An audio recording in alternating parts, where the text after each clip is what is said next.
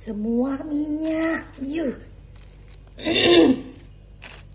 ayo ini barangnya belum dibuka ya. Saya nggak tahu dalamnya semua kena minyak atau tidak. Semuanya ini ada yang pecah plastiknya. Sudah pasti ininya berminyak semua. Sudah saya kasih tahu packingannya harus diplastikin dulu kalau kena hujan gimana basah. Inilah hasilnya.